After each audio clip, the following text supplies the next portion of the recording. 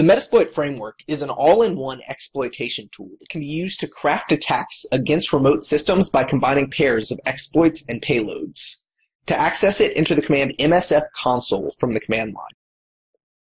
Now I'm going to demonstrate just how easy it is to use Metasploit to exploit a discovered vulnerability. So we'll refer back to our previous section where we discussed how to discover vulnerabilities on a system. And we'll look at the results that we found in our Nessus vulnerability scan. And we'll select our Windows system here. And then I'll select a vulnerability that I know is exploitable within Metasploit. And notice in the description that it does tell us that execution of this exploit will allow you to execute arbitrary code on a remote system.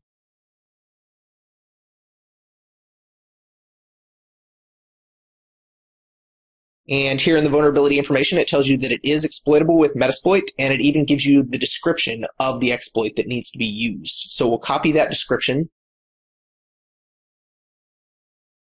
And then we'll switch back over to our Metasploit framework console, and then we'll search for that description.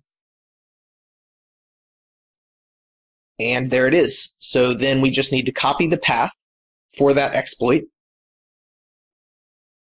then enter the command use followed by that path.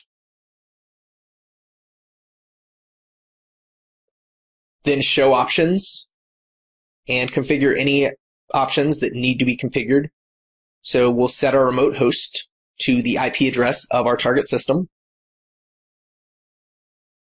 Then show options again to verify that that change was made.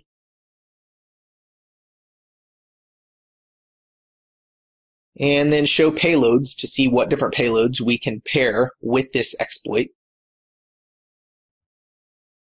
And all of these are just different code that we can execute on the remote system by taking advantage of the exploit that it's paired with. So we'll go ahead and execute a bind TCP shell. So set payload and then paste the path of the payload that you choose. And then show options and as you can see by the options of the payload, it is going to launch that TCP shell on port 4444. So then use the command exploit to launch the attack against our remote system.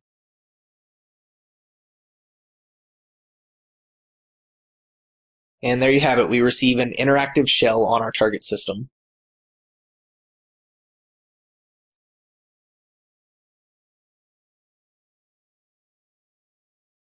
So now we'll perform a similar attack on a Linux system. So we'll search for the description of the exploit that we want to use. So Java RMI server. And then copy the path of the exploit. Then use, followed by that path. Then show options, and then we'll set our remote host to the target IP address.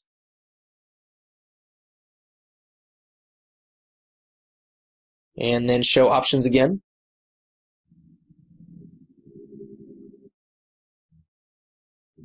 And as you can see, our remote host address has been updated.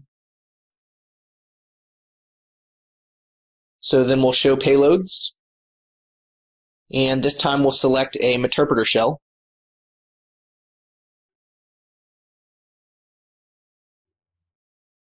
And then we'll use set payload followed by the path of that payload. And then show options. And once again, this will be opening our shell on port 4444 and then exploit to execute it.